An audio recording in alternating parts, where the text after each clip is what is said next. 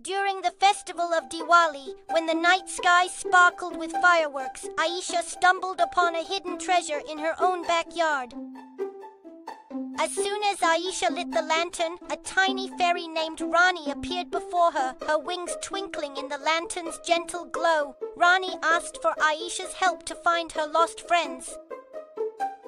Aisha's excitement turned into worry when her aunt accidentally dropped the lantern, shattering it into pieces and trapping poor Rani inside.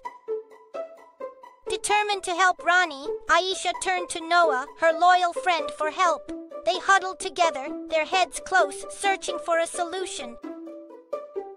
Together, Aisha and Noah delved into the pages of an old book, their eyes wide with the promise of finding a way to repair the lantern and reunite Rani with her friends. Their adventure led them to a magical rare flower that held the key to fixing the lantern. Aisha and Noah triumphantly held the flower, their faces beaming with joy. Aisha and Noah realized that to save the day, they needed their tears of joy to water the precious flower. Tears streamed down their faces, carrying happiness and hope.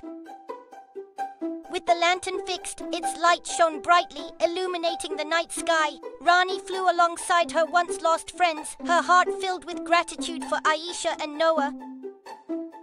Aisha and Noah, filled with pride and happiness, continued to celebrate Diwali with their loved ones. They knew that their kindness had brought immeasurable joy to those around them. Standing side by side, Aisha and Noah took a moment to reflect on their adventure. They watched as the lantern floated higher into the sky, carrying Rani and her friends to a world of happiness and friendship.